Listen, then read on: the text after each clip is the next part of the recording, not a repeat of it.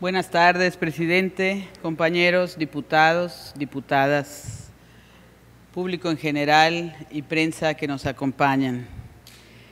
Quisiera motivar la reflexión más profunda y sincera sobre lo que estamos por hacer los diputados de esta décimo quinta legislatura. Imaginen pagar por un servicio y no preocuparse por la calidad. Ir al médico, al mecánico, al peluquero y no vigilar que la atención sea buena. Ahora imaginen que es quincena y nuestro salario lo cedemos para que otras personas lo utilicen, sin preguntar en qué se gastará, si se invertirá o si habrá ganancias. Por más irreal que parezca, porque claro que a todos nos importa lo que pase con nuestro dinero y con lo que pagamos e invertimos, algo así estaría ocurriendo si no ponemos suficiente atención a este plan de rescate financiero. Los diputados debemos recordar siempre que somos guardianes del interés público, que el gobierno somos los tres poderes y que el Congreso es el único responsable de vigilar el actuar de los otros dos. Por eso quiero invitar a mis compañeras y compañeros de esta legislatura para que razonemos en esa lógica, poniendo a la sociedad al centro como beneficiaria y nunca más como víctima de los malos manejos, como los que caracterizaron al borgismo y su red de piratas del erario. Debido a la inmoral e insaciable avaricia de ese régimen pasado, hoy cada quintanarroense debemos en promedio 16 mil pesos, como lo señaló Juan Vergara, nuestro secretario de Cefiplan. Esto equivale a cuatro veces más de lo que gana mensualmente el 10% más pobre del país que es de cuatro mil pesos. Estamos intentando arreglar algo que desde el principio estuvo mal hecho. Este nuevo gobierno debemos ser diferentes. El cambio debe ser para mejorar.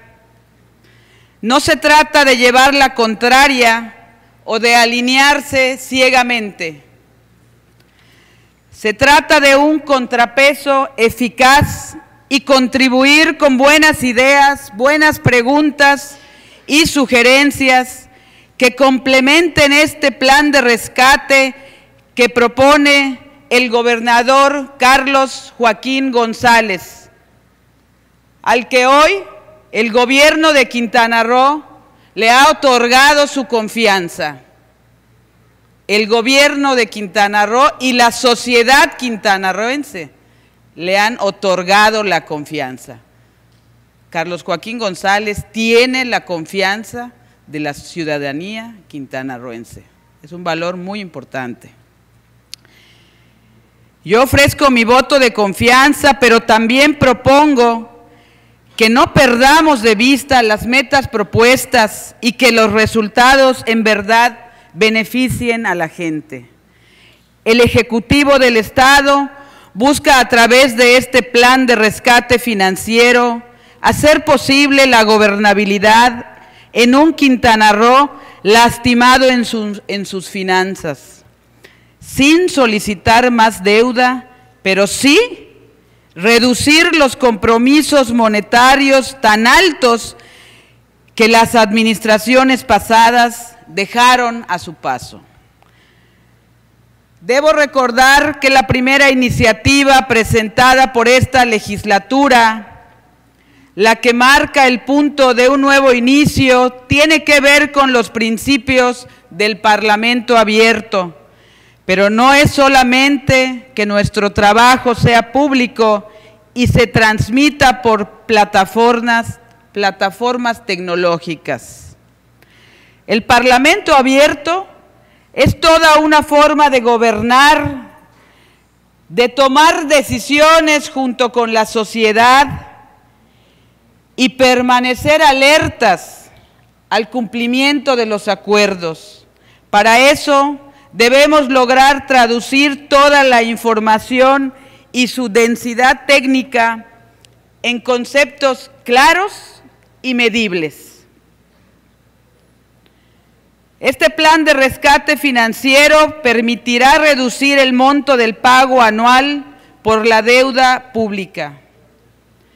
Solicito que una parte de los recursos que se ahorrarán con este rescate sean asignados en el presupuesto de egresos 2017 en todo el espectro social, principalmente en salud y en educación.